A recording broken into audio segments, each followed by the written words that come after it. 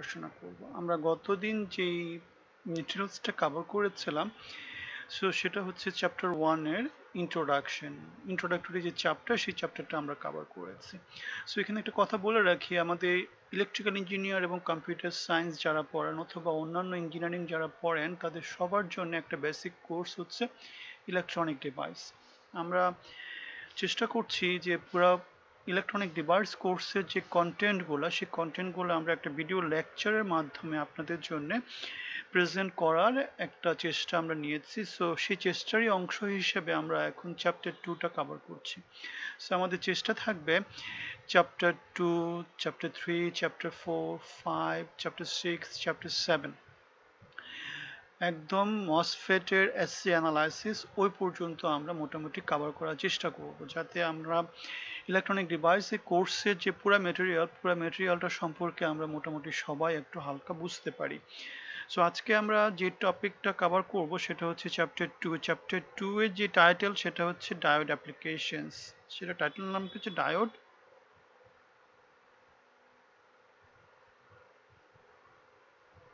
Application so এখানে একটা কথা বলে রাখি, যেহেতু এখানে বলা হচ্ছে এটা ডায়োড অ্যাপ্লিকেশন সো ডেফিনেটলি আমাদের ডায়োড বেস সার্কিট নিয়ে কাজ করতে হবে। ফার্স্ট চ্যাপ্টার যেটা ছিল, সেই চ্যাপ্টারটা ছিল হচ্ছে পুরোপুরি থিওরিটিক্যাল ওখানে আমরা ডায়োড কীভাবে বানাতে হয় পিএন জাংশন কি ডায়োডের উপর টেম্পারেচার এফেক্টটা কি সিলিকন জার্মেনিয়াম গ্যালিয়াম আর্সেনালের যে ডিফারেন্ট মেটেরিয়াল আছে, এই ডিফারেন্ট মেটেরিয়ালগুলো একটা, একটার সাথে যদি আমরা কম্পেয়ার করি কোনটা কোন দিক থেকে ভালো, কোনটা কোন দিক থেকে খারাপ খারাপ ব্রেকডাউন জিনিসটা কি, এই সমস্ত জিনিসগুলো নিয়ে আমরা কথা বলেছিলাম। তাহলে যেটা বলছিলাম যে আমরা ডায়েট অ্যাপ্লিকেশনস নিয়ে পড়াশোনা করছি। ডায়েট অ্যাপ্লিকেশনস যেহেতু এটা আমরা কিসে দেখব? এটা আমরা দেখব হচ্ছে সার্কিট অ্যাপ্লিকেশন দেখব। সার্কিট মানে কি? সার্কিট মানে হচ্ছে it should have a closed loop closed loop যেখানে আমাদের কি হবে? যেখানে আমাদের ডায়োডটা কি হতে পারে? অন হতে পারে, অথবা কি হতে পারে? অফ হতে পারে বেসড অন ফরওয়ার্ড বায়াস অথবা রিভার্স বায়াস সো তাহলে চ্যাপ্টার টুতে আমরা যেটা দেখব সেটা হচ্ছে ডায়োডের অ্যাপ্লিকেশনস দেখব। ডায়োড অ্যাপ্লিকেশনস মানে হচ্ছে ডায়োডটা সার্কিটে ইউজ করা হচ্ছে। সার্কিটে যখন ইউজ করা হয়, এটা ক্লোজ লুপে থাকে, একটা সোর্স দেওয়া থাকে। সো তাহলে ডায়োডটা কখনো ফরওয়ার্ড বায়াস হবে, কখনো রিভার্স বায়াস হবে। সো আমরা আগের যে লেকচারটা ছিল, আগের যে চ্যাপ্টারে যে পড়াশোনা করেছিলাম, সেখানে আমরা বলেছিলাম যে ডায়োড ফরওয়ার্ড বায়াস হতে হলে ডায়োড হচ্ছে পিএন জাংশন পিতে যদি আমি ব্যাটারি পজিটিভ দিই, তাহলে সে ফরওয়ার্ড বায়াস হবে। আর আমি যদি পিতে ব্যাটারি নেগেটিভ দিই, সে রিভার্স বায়াস হবে। সো এই চ্যাপ্টারে আমরা ডায়োডের কিছু সিরিজ প্যারালাল সার্কিট দেখব। তারপরে আমরা যেটা দেখব, সেটা হচ্ছে আমরা ক্লিপার সার্কিট দেখব ক্ল্যাম্পার সার্কিট দেখব। আমরা তারপরে যেটা দেখব, সেটা হচ্ছে ডায়োড রেক্টিফিকেশন দেখব। জেনার ডায়োডের উপর কিছু অ্যাপ্লিকেশনস দেখব। এখানে একটা সার্কিট আছে example two point one four so আমরা এই ম্যাথটা করার চেষ্টা করি। সো এই ম্যাথে আমরা কি দেখতে পাই? Two point one four corresponding figure হচ্ছে figure two point one three so সেটা হচ্ছে এই ফিগারটা সো আমরা এখানে দেখতে পাই একটা ব্যাটারি দেওয়া আছে আট ভোল্টের ব্যাটারির ভোল্টেজ হচ্ছে এইট সো আমরা দেখতে পাচ্ছি ব্যাটারি পজিটিভ আর পিএন জাংশন ডায়োডের যে পজিটিভ দুটো একসাথে শর্ট করা। তার মানে এটা কীভাবে আছে? এটা ফরওয়ার্ড বায়াসে আছে। আর ডায়োডটার নাম কি? ডায়োডটার নাম হচ্ছে সিলিকন ডায়োড সিলিকন ডায়োড যেহেতু আমরা জানি ফরওয়ার্ড বায়াসে সিলিকন ডায়োডের একটু ড্রপ হয় জিরো পয়েন্ট সেভেন আমাদেরকে বের করতে বলছে যে বিডি কত বিআর কত, আর আইডি কত। এটা খুব সিম্পল বিডি হচ্ছে পয়েন্ট সেভেন যেহেতু ডায়োডটা ফরওয়ার্ড বায়াস ভোল্টেজটা হচ্ছে আট ভোল্ট দিচ্ছি সো ট্রানজিস্টরটা এখানে অন হবে। মানে ডায়োডটা এখানে অন হবে। ডায়োডটা অন হওয়ার জন্য যে ভোল্টেজটা লাগে সেটা হচ্ছে পয়েন্ট সেভেন আমরা দিচ্ছি মোটামুটি এইট ভোল্টের মধ্যে বেশ বড় একটা ভোল্টেজ দিচ্ছি। সো এখানে ডায়োডটা অন হয়ে যাবে। ডায়োডটা অন হয়ে গেলে ডায়োডের অ্যাক্রসে ভোল্টেজ হবে পয়েন্ট সেভেন ড্রপ বিআর বের করতে বলেছে, যেহেতু ক্যাবিএল অ্যাপ্লাই করতে হবে ক্যাবিএল অ্যাপ্লাই করে আমরা যেটা পাচ্ছি সেটা হচ্ছে সেভেন পয়েন্ট থ্রি আইডি সমান পেয়ে যাচ্ছি হচ্ছে three point three two milli ampere forward biases আমরা ভাগ করে দিলে যেহেতু আমাদের ওহমস ল একটা ল আছে। V equals to I R সেটাকে আমরা সলভ করলে আই সমান কি পাই? আই সমান হচ্ছে বি বাই আর রেজিস্ট্যান্স দিয়ে ভাগ করলে আমরা কারেন্টটা পেয়ে যাচ্ছি। আমরা যদি এখন এক্সাম্পল টু পয়েন্ট ফাইভে চলে আসি এক্সাম্পল টু পয়েন্ট ফাইভটাতে কি আছে? টু পয়েন্ট ফাইভটাতে সেম সার্কিট বা ডায়োডটাকে রিভার্স করে দিয়েছে। ডায়োডটাকে রিভার্স করে দিলে আমরা জানি ডায়োডটা রিভার্স বায়াস হবে রিভার্স বায়াসে ডায়োডটা ওপেন হয়ে যাবে। ওপেন হয়ে গেলে সার্কিটে কোনো কারেন্ট ফ্লো হবে না আই কাস টু জিরো হবে। আর বিডি সমান কি হবে? ডায়োডের অ্যাক্রসে পুরো ভোল্টেজটা ড্রপ হবে। ঠিক আছে, পুরো ভোল্টেজটা ড্রপ হবে। আমরা এখন যদি এক্সাম্পল টু পয়েন্ট সিক্সে আসি টু পয়েন্ট সিক্সে আমরা কি দেখতে পাই? টু পয়েন্ট সিক্সে আমরা দেখতে পাই একটা সার্কিট দেওয়া আছে। এই সার্কিটে সিলিকন ডায়োড অ্যাপ্লাই করা হচ্ছে এবং সিলিকন ডায়োডের অ্যাক্রসে পয়েন্ট ফাইভ ভোল্টেজ দেওয়া হচ্ছে। যেহেতু এটার জন্য পয়েন্ট সেভেন লাগে, কিন্তু আমরা দিচ্ছি পয়েন্ট ফাইভ আলটিমেটলি এটা ফরওয়ার্ড বায়াস থাকা সত্ত্বেও এটা অন হবে না। অন না হলে যেটা হবে সেটা হচ্ছে আই কাস টু জিরো হবে এবং আই কাস টু জিরো হলে আই কাস টু জিরো হচ্ছে আই কাস টু জিরো হবে। আই কাস টু জিরো হলে বিআর সমান জিরো হবে। তাহলে আমরা যে ভোল্টেজটা দিচ্ছি পয়েন্ট ফাইভ সেটা ড্রপ হবে কার অ্যাক্রসে বিডিআর অ্যাক্রসে ড্রপ হবে। সো বিডিআর অ্যাক্রসে ড্রপটা কত পাচ্ছি? পয়েন্ট ফাইভ ভোল্ট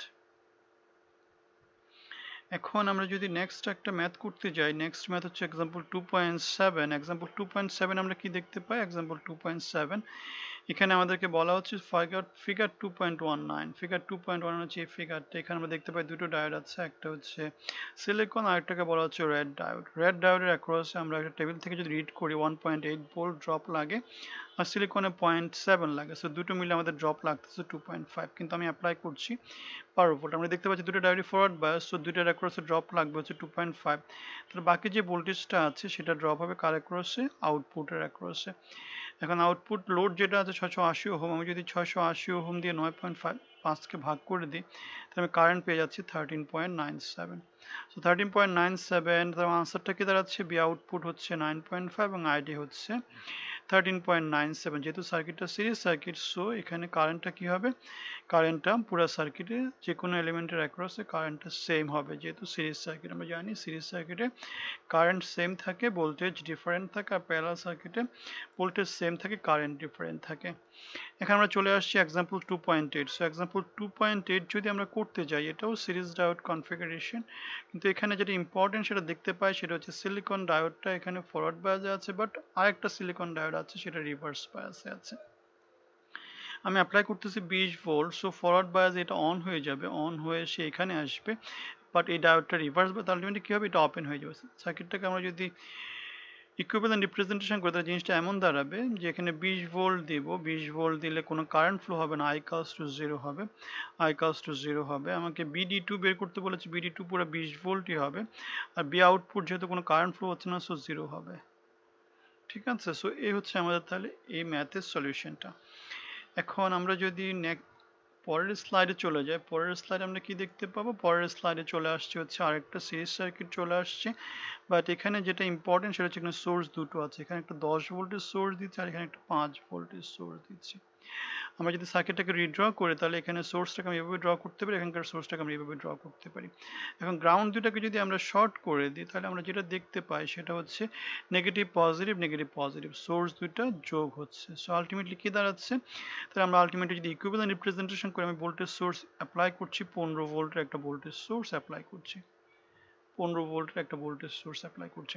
তাহলে পনেরো ভোল্টের উপরে প্লাস নিচে মাইনাস তাহলে ডায়োডটা ফরওয়ার্ড বায়াস হবে ড্রপ হবে পয়েন্ট সেভেন তাহলে পনেরো ভোল্ট মাইনাস পয়েন্ট সেভেন করলে আমি পাই ফোরটিন পয়েন্ট থ্রি আর এই ফোরটিন পয়েন্ট থ্রি যে ভোল্টেজটা সেটা ড্রপ হবে হচ্ছে রেজিস্ট্যান্স ফোর পয়েন্ট সেভেন এবং টু পয়েন্ট টুতে তাহলে এই দুটো যোগ করে দিলে আমি পাই হচ্ছে সিক্স পয়েন্ট নাইন ভাগ করে দিলে কারেন্ট চলে আসবে টু পয়েন্ট জিরো সেভেন তাহলে আমাদের কারেন্ট বের করতে বলেছে কারেন্ট বের হয়ে গেল। এখন বি ওয়ান বের করতে হলে কারেন্টকে দিয়ে রেজিস্ট্যান্স গুণ করে দিতে হবে নাইন পয়েন্ট সেভেন থ্রি আর বি টু বের করতে হলে কারেন্ট দিয়ে রেজিস্ট্যান্স গুণ করে দিতে হবে ফোর পয়েন্ট ফাইভ ফাইভ তাহলে আমাদের চারটা জিনিস বের করতে বলেছে, তার মধ্যে আমরা তিনটা জিনিস বের করতে পেরেছি এবং বাকি যে জিনিসটা আছে বি নট বি নট বের করতে হলে আমাদের একটু কেয়ারফুল থাকতে হবে বিকজ বি নট এখানে বি নটের মধ্যে কোনো রকমের, শুধু বি নট বলা আছে আউটপুট ভোল্টেজ আউটপুট ভোল্টেজ মানে কি? আউটপুট টার্মিনাল থেকে গ্রাউন্ড পর্যন্ত আউটপুট টার্মিনাল থেকে গ্রাউন্ড পর্যন্ত। আমরা দেখতে পাই এখানে কি কি আছে? বি টু একটা আছে একটা ভোল্টেজ সোর্স ফাইভ ভোল্ট আছে। সো আমাদের এই পাথে ভোল্টেজগুলোকে যোগ করে যেতে হবে। তার মানে কত হবে তাহলে? এটা হবে হচ্ছে গিয়ে four point five five plus minus five so ultimately করলে কত আসবে? Minus zero point four five তাহলে বি নটের ভ্যালু হচ্ছে minus zero point four five